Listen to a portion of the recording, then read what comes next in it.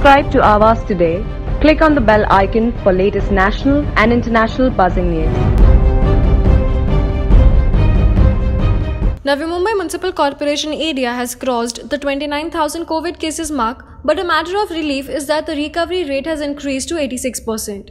355 new cases were reported in Navi Mumbai on Wednesday, taking the total cases figure to 29,165. Five deaths were reported on the day, taking the COVID toll to 640.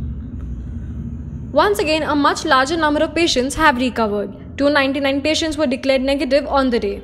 The total recovery figure has now jumped to 25,055, giving the city a recovery rate of 86%. The active cases figure is now 3,470. 3,58,020 people have completed their quarantine period, while 62,980 people are presently quarantined at home. 1,789 rapid antigen tests were conducted today. A total of 1,50,175 people have been tested for COVID 19 in NMMC jurisdiction till date. These include 91,030 through rapid antigen tests and 59,145 through RT PCR test. 35,932 of these have tested negative. Results of 696 tests are awaited. Belapur ward tops in the highest cases reported on the day. It is followed by Vashi and Turbhe.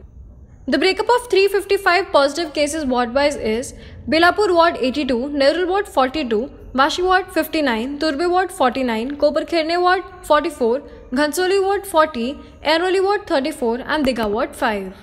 The details of the patients who tested positive today are on your screen. The breakup of the 299 recoveries ward-wise is as follows.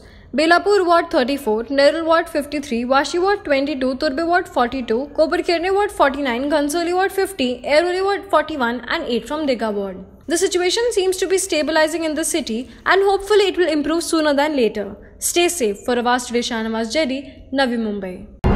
Subscribe to Awaaz today. Click on the bell icon for latest national and international buzzing news.